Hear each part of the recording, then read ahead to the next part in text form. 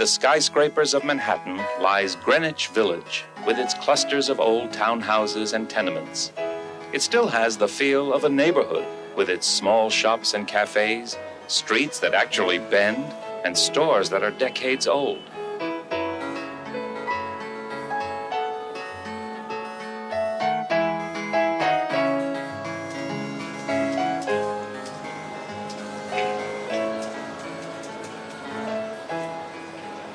Generations of writers and artists have celebrated the stubborn, independent character of the village and its success in containing more lifestyles and ideas than any other place in America.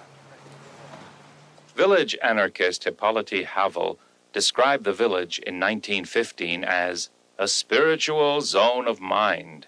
He said, A city which has no Greenwich Village has no life, no illusion, no art. Isolated from commercial colonial New York, Greenwich Village became a haven for city dwellers during the fever epidemic of 1798.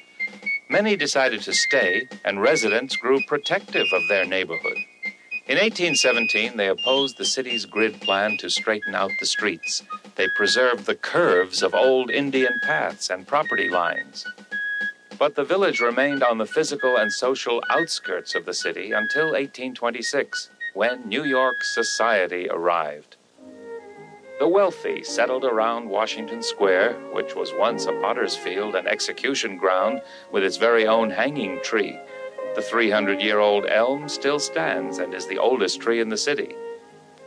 As the area became residential, the square was transformed into a fashionable parade ground for the 7th Regiment, only to find that the artillery on display sometimes caved into the graves below.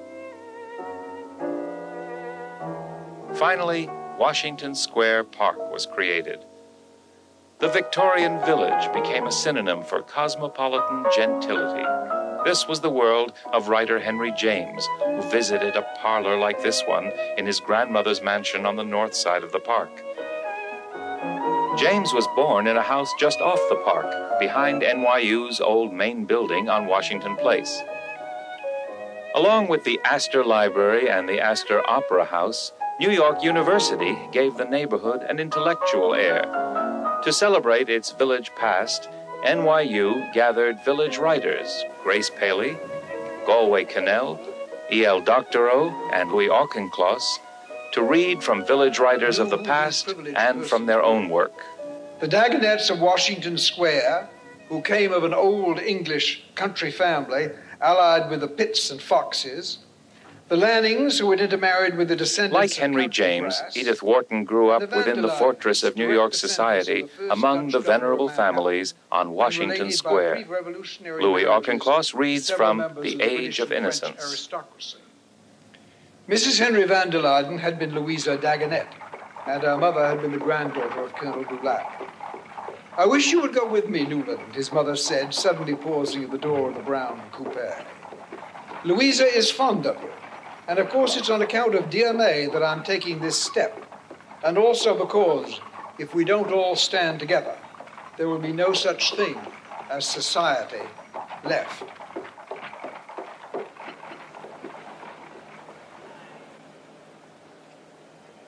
In the post World War I era, uh, when she became disillusioned, as so many people did with modern times, then the sort of stillness and staidness of that brownstone New York began to have a kind of nostalgic charm to her. And in the Age of Innocence, she reverted to it and uh, found that it had a fragrance that she, hadn't, that, uh, she had not realized. But I don't think it did. I think the fragrance was her nostalgia. Although the north side of the park refused to surrender its self respect till the turn of the century, the south side of the park succumbed much earlier to waves of immigration. It was home to free blacks starting in 1850, to the French, then to Germans, Irish, and Italians. These transient populations lived in newly built but quickly overcrowded tenements and rundown houses. Charles Carter brought his bride to his comfortable home on Bleecker Street in 1850. Fifty years later, it was surrounded by flop houses and brothels. Minetta Lane was described by young reporter Stephen Crane as swarming with desperados where sin shone like a new headlight. Despite this seedy reputation, real estate speculators started buying the property south of Washington Square in 1910. They promoted it as New York's Latin Quarter. The wealthy continued their move northward. The mansions were broken up into rooming houses and rents dropped. Eight to twelve dollars a month got you a cold water flat. Thirty dollars got you heat and hot water, and landlords often donated a month's free rent.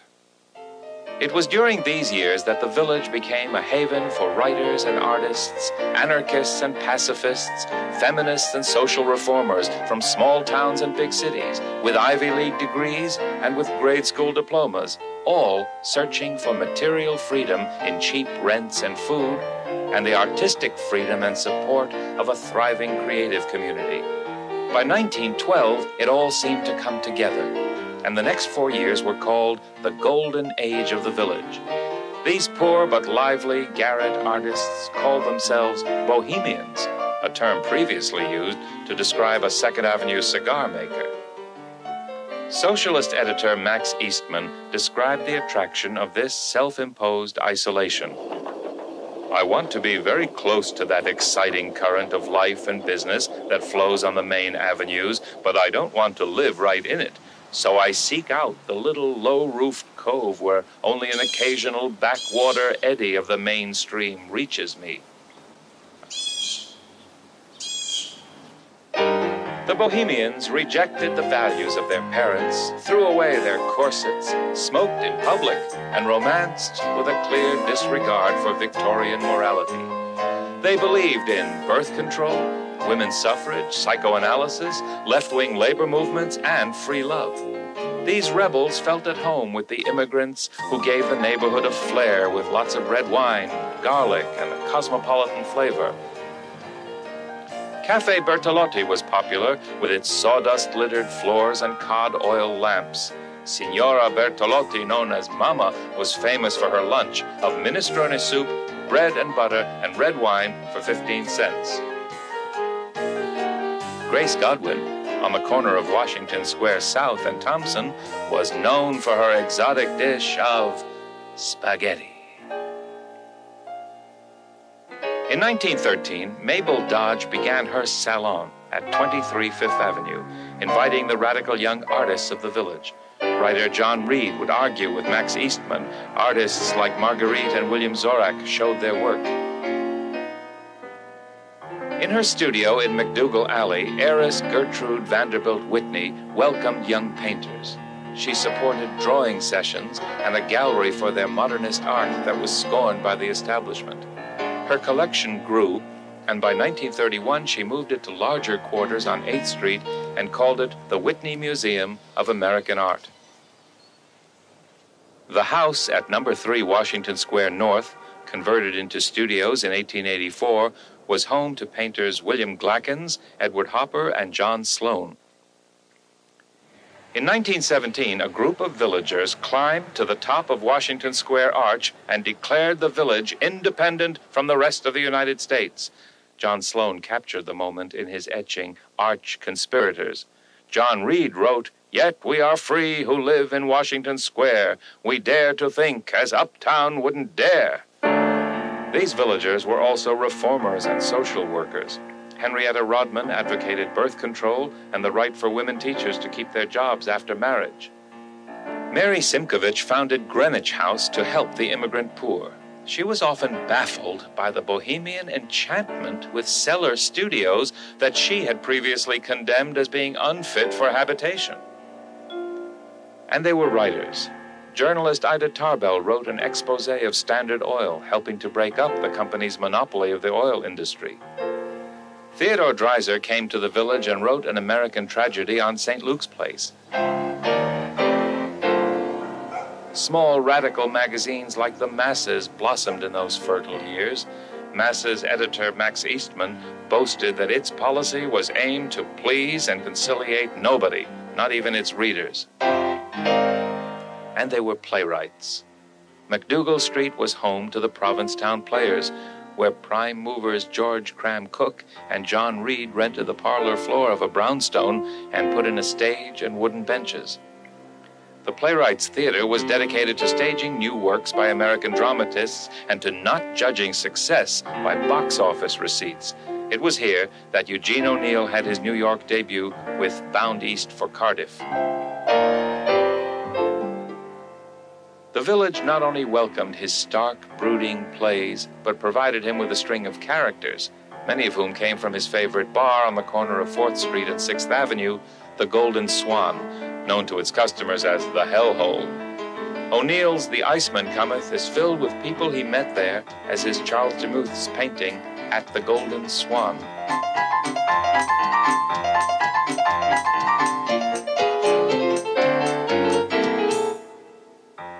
Its second season, the Provincetown players moved three doors down to a converted stable.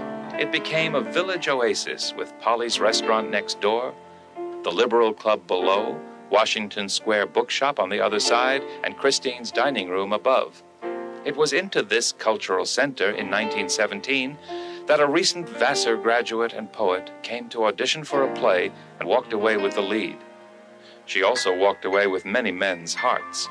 Edna St. Vincent Millay's comparison of youth to the lovely light of a candle burning at both ends became a metaphor for her bohemian generation. Literary critic and Millay admirer Edmund Wilson kept a detailed diary of the times. E.L. Doctorow reads from the 20s. And then he briefly describes the evening of a farewell evening with Edna, at which John Peale Bishop, the Greenwich Village poet, was present. And he says, After dinner, sitting on her daybed, John and I held Edna in our arms. According to an arrangement insisted upon by herself, I her lower half and John her upper.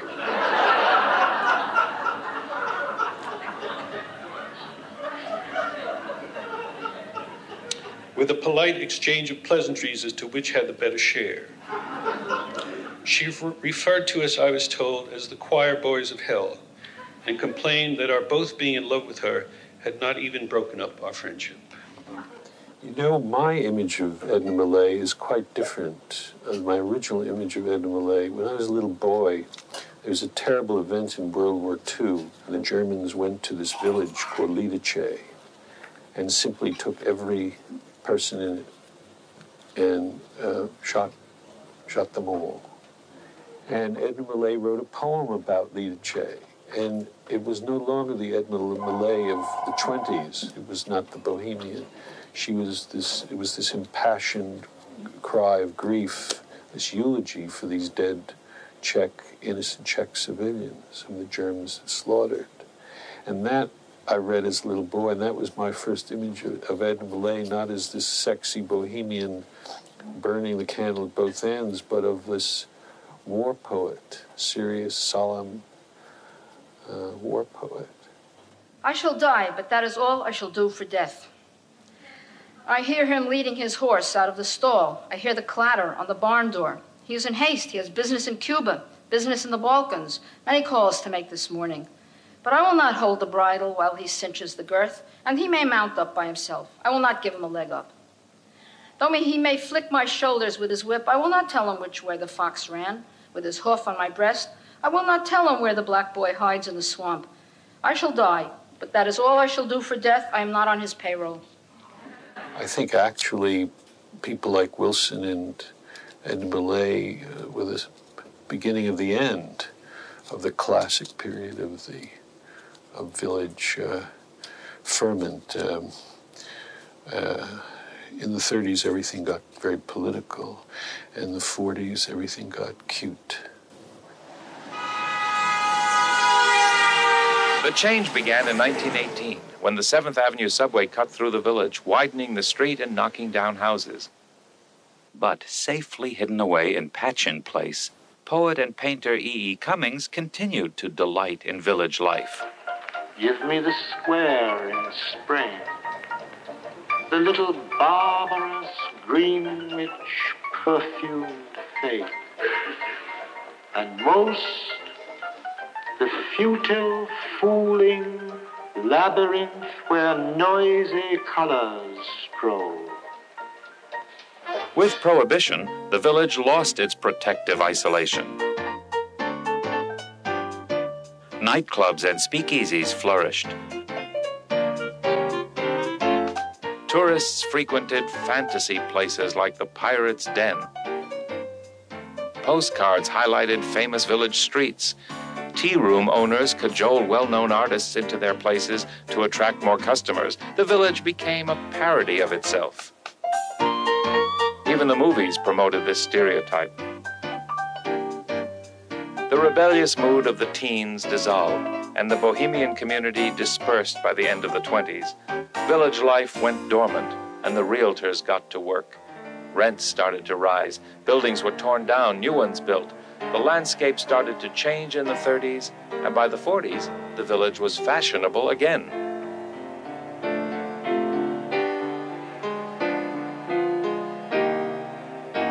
Throughout this period of transition, the village still supported restaurants, bars, and cafes, and a remnant of its independent spirit. In the 50s, a new group of writers and painters known as the Beatniks jostled the village out of its sleep.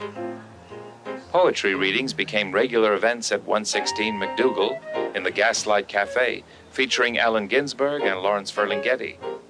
Jack Kerouac and the Beat generation of writers haunted bars on Bleecker and MacDougal and burned the candle at both ends with a vengeance that might have shocked even Edna. By the 60s, the hip poetry place known as The Scene became Cafe Borgia, catering to a new set of singers and writers. Bleecker Street sprouted clubs featuring folk music, comedy, and jazz.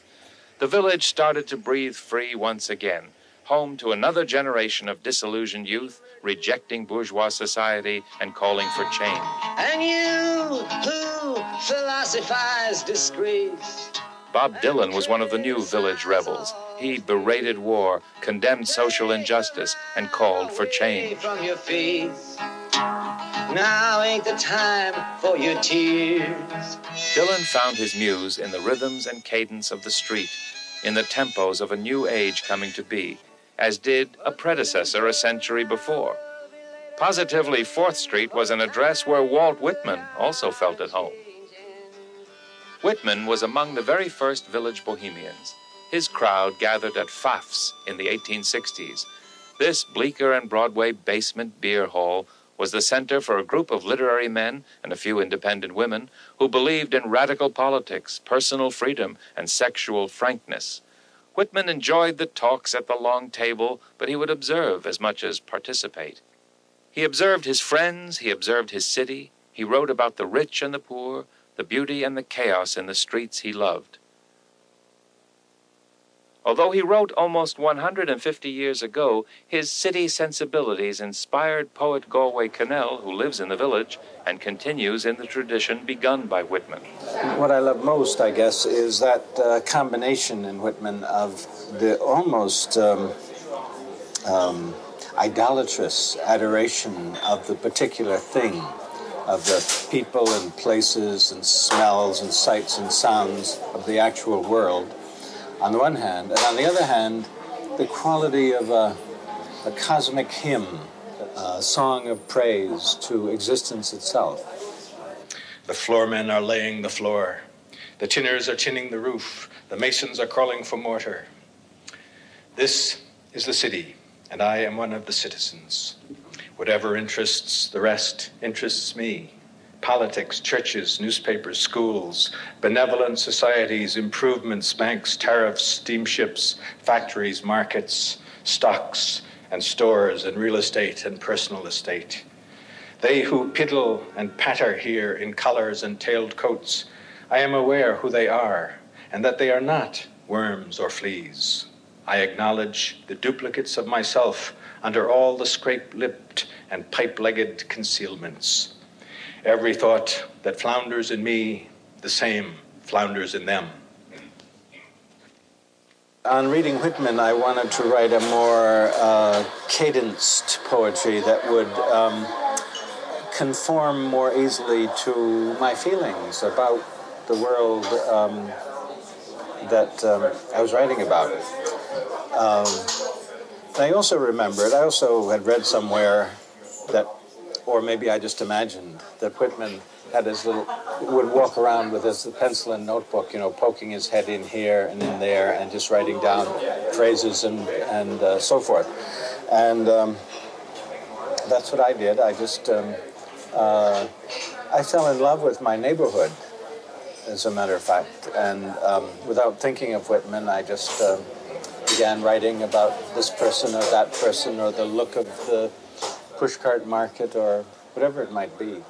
In the pushcart market on Sunday, a crate of lemons discharges light like a battery. Icicle shaped carrots that wove through black soil lie like flames in the sun. Onions with their shirts ripped seek sunlight on green skins. The sun beats on beets dirty as boulders in cowfields, on turnips pinched in gibbous on horseradishes, still growing weeds on the flat ends, on cabbages lying about like sea green brains the skulls have been shucked from, on tomatoes, undented plum tomatoes, alligator skinned cucumbers that float pickled in the wooden tubs of green skim milk, sky flowers. Dirt flowers, under dirt flowers, those that climbed for the sun in their lives, and those that wormed away equally uprooted, maimed, lopped, shucked, and misaimed. In the market in Damascus, a goat came to a stall where 12 goat heads were lined up for sale. It sniffed them one by one.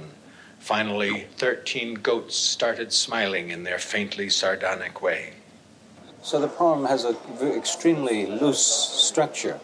There is a kind of structure underneath it which is very hard to, um, you know, not too easy, not too um, obvious to a listener, and that is that there is actually recounts the stations of the cross of Jer- from Jerusalem are transplanted and uh, into uh, the Lower East Side. But um, not many readers see that, and it's certainly not necessary to know that, but it just helped me to uh, construct the poem, to have that um, um uh, plot. Children set fires in ash barrels. Cats prowl the fire, scraps of fishes burn.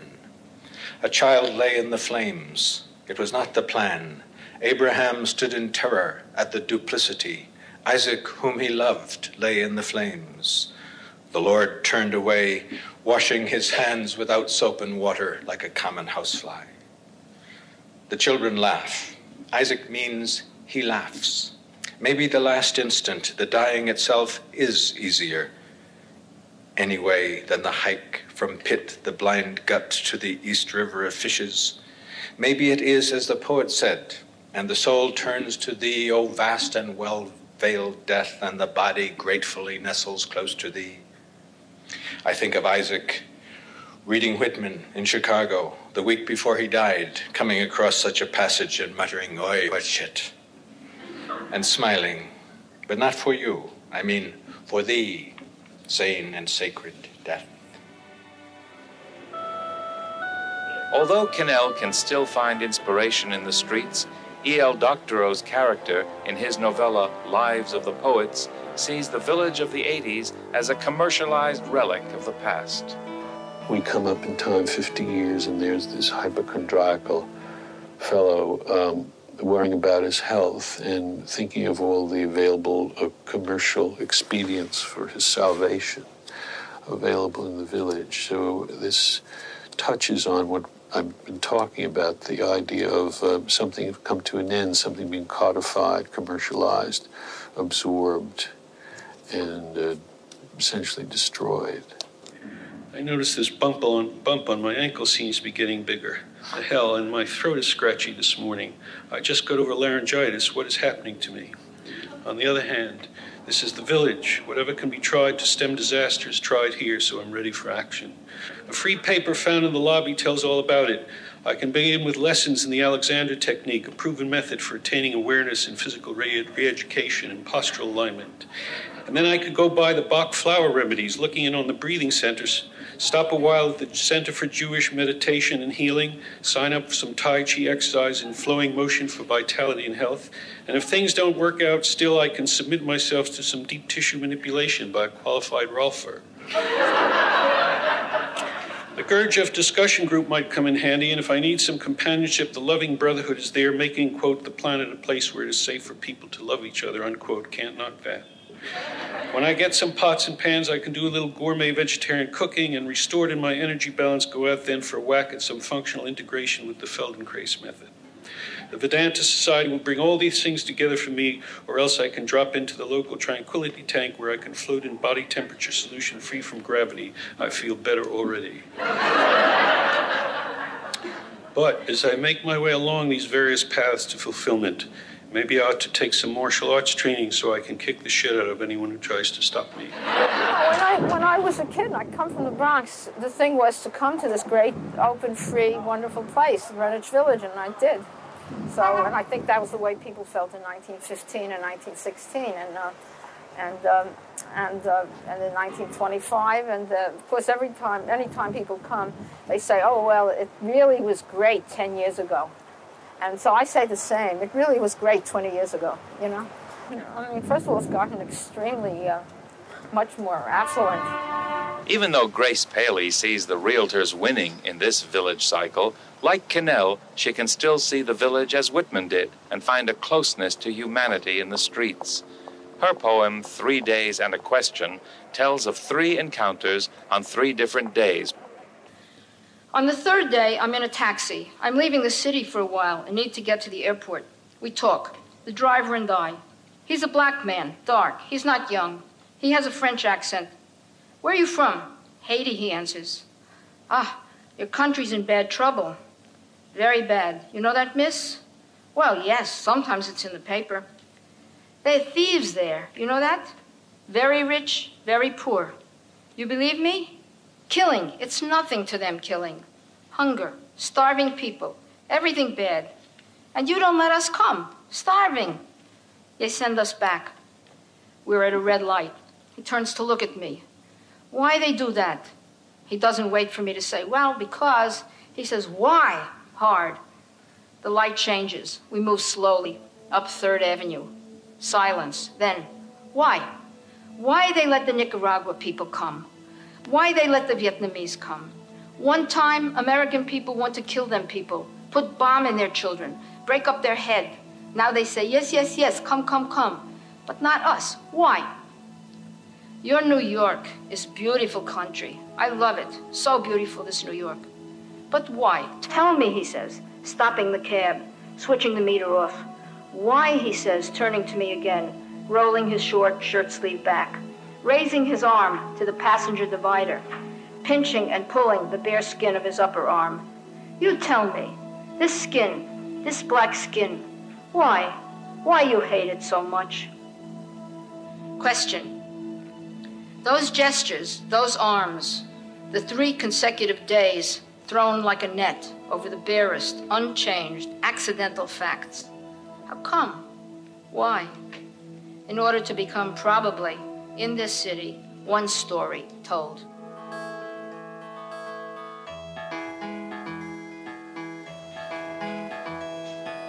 Change has been the only constant in the history of the village. Each generation laments its own passing, but Greenwich Village retains a vitality all its own. It still provides a colorful palette and a rich character parade. The intimacy of a medieval village nestled in a modern metropolis.